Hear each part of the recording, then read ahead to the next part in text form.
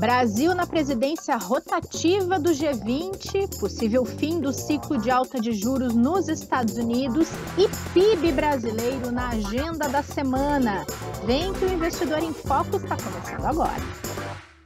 Bem-vindas e bem-vindos a mais esse episódio que estreia o mês de dezembro, esse mês de reta final de 2023. E tem a Sabrina Lima aqui como nossa especialista em recomendação e portfólio para nos explicar os desafios deste dezembro. Como está você, Sabrina?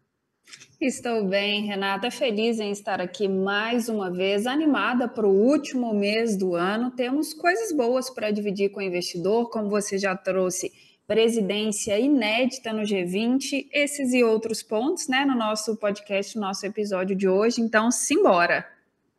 Então, simbora porque é mais novo, essa presidência inédita no Brasil, no G20, primeira vez, e o governo brasileiro quer priorizar discussões sobre questão climática, combate à fome e à desigualdade e reforma de instituições globais. De que forma exatamente isso vai acontecer, Sabrina? O que, que significa né, o Brasil estar nesta presidência rotativa do G20, hein?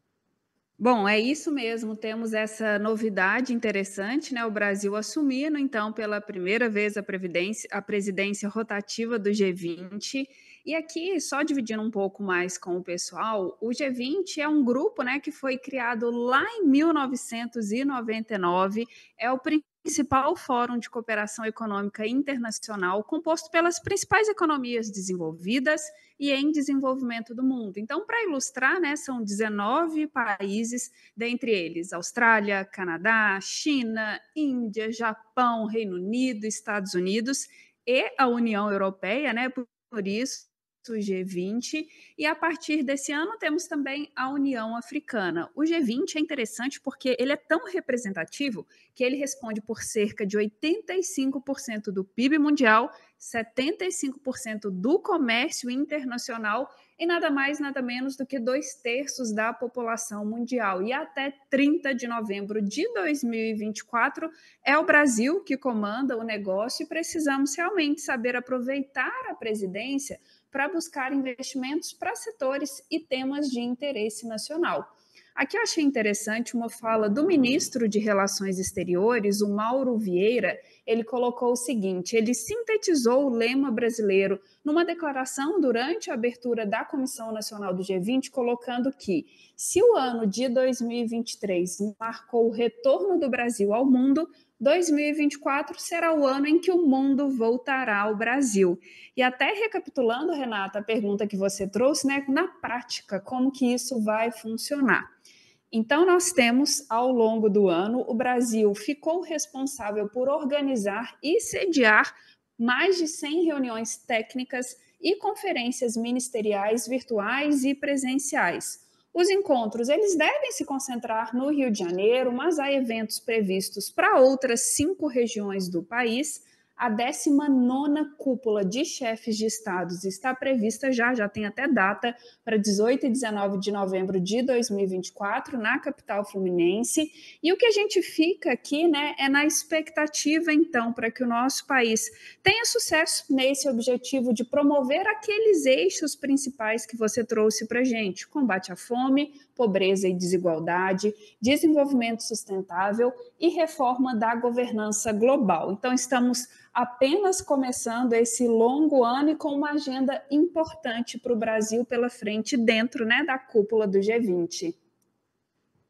Perfeito, vamos acompanhar, porque tem muito trabalho nesse ano, né, Sabrina, para conseguir atender toda essa expectativa de encontros e propostas e até mesmo condutas a serem combinadas entre tantos países, né? Perfeito, isso mesmo. Aqui a gente colocou né, os interesses principais do Brasil, mas uhum. nós sabemos que é justamente isso, né? Alinhar as expectativas de todos os membros do G20. Perfeito. É, bom, vamos trocar um pouquinho de assunto então, porque a política monetária ela está presente nos últimos dias aí na, no, no radar de atenção do mercado e vai se manter porque semana que vem tem super quarta, a gente já vai falar disso, mas queria conversar com você também sobre as últimas falas do presidente do Fed, o Jerome Powell na semana passada, na última sexta-feira, porque elas seguem repercutindo no mercado, nos mercados globais, é, principalmente porque mostraram melhor aquele horizonte do fim das altas de juros por lá, que era algo que o mercado tanto esperava, né, Sabrina? Exatamente, isso mesmo. Depois das últimas falas e também dos últimos dados, a curva de juros já indica uma chance majoritária do Fed começar a reduzir a taxa básica em março do ano que vem e entregar 1,25 ponto percentual em cortes acumulados até o final de 2024.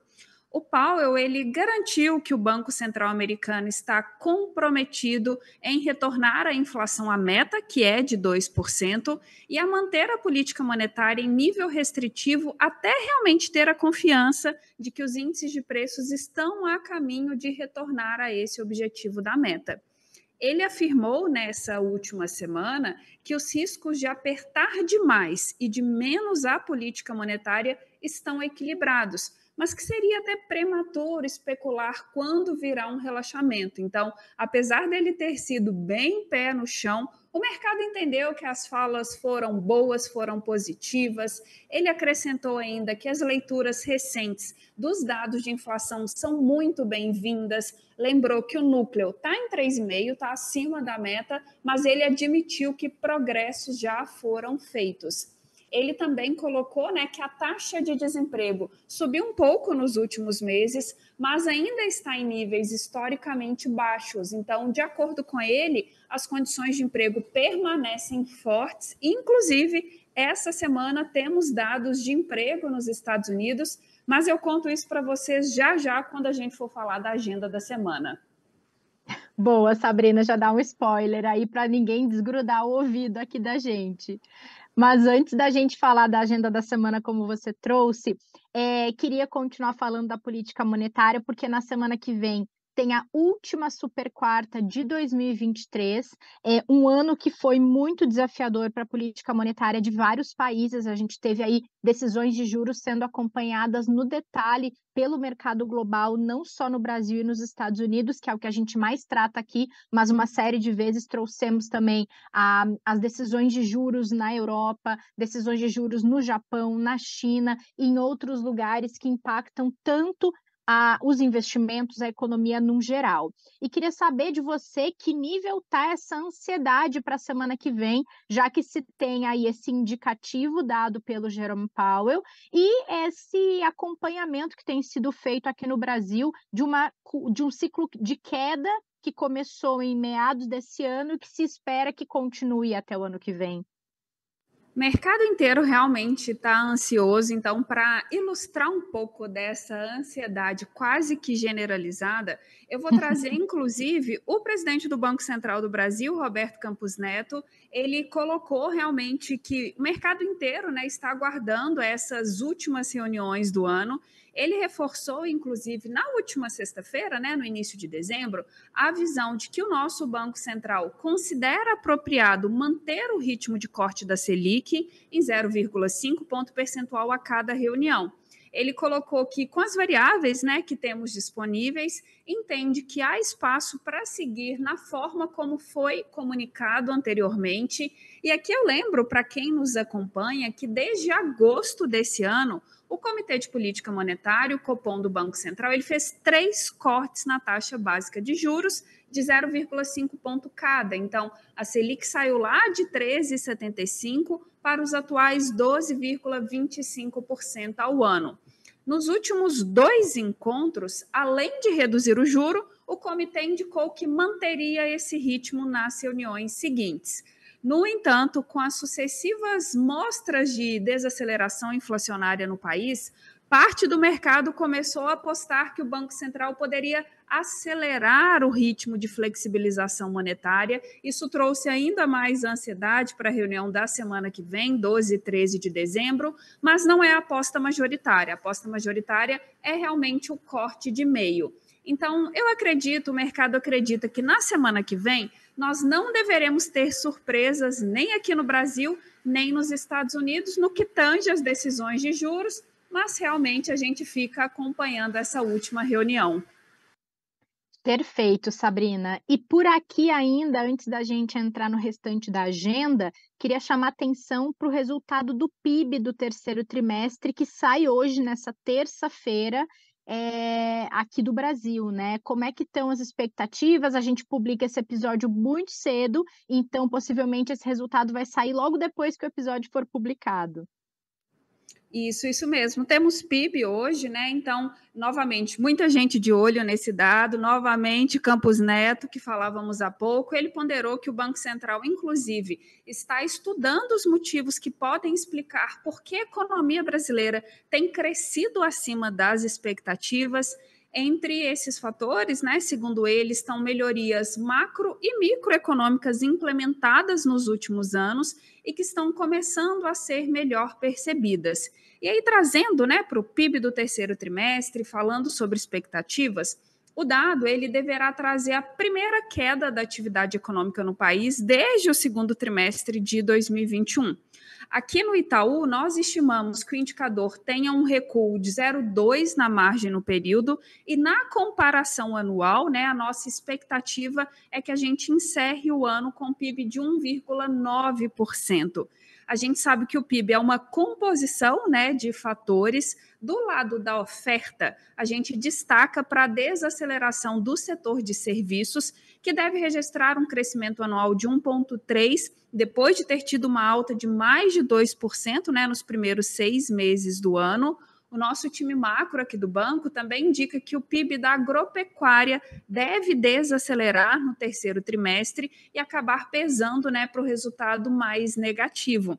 E aqui eu coloco para quem nos acompanha que, apesar dessa possível desaceleração do PIB da agropecuária ainda é um segmento muito forte. Nós estimamos uma alta anual de 9,4%, depois de um crescimento de mais de 17% no trimestre anterior, resultado principalmente né, da perda da importância da safra da soja na contabilização, contabilização do resultado agora nesse segundo semestre do ano. Então, basicamente, né, expectativas do PIB, é, a gente espera novamente que esse dado venha num momento muito importante que a gente tem para avaliar nível de atividade e decisão de juros a gente deve sim ter uma desaceleração, mas ainda assim é né, um dado considerado positivo. E como eu comentei, né, o próprio Banco Central, aqui na figura do Campos Neto, colocando que está com os olhares positivos e buscando entender realmente esses motivos que explicam por que a economia brasileira tem crescido acima das expectativas.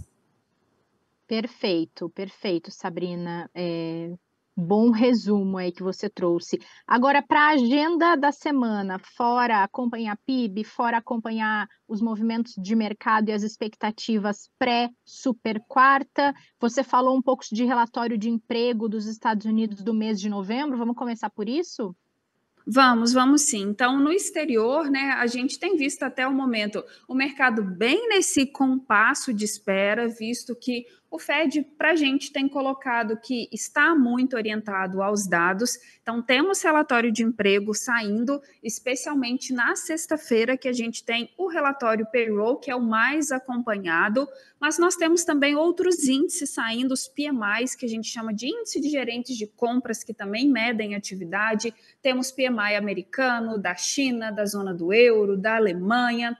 Quando a gente vem aqui para o Brasil, a semana já teve né, o Boletim Focus, que foi publicado na segunda-feira, não trouxe tantas novidades para a gente. A gente teve uma pequena revisão nas expectativas de câmbio e de inflação também. Além do PIB, que a gente comentou há pouco, temos também IGPDI, então mais um dado de inflação saindo para a gente. E segue muito no radar, é, Renata, as votações hum. no Senado, na Câmara, né, de uma série de projetos, como, por exemplo, aquele que regulamenta as apostas esportivas.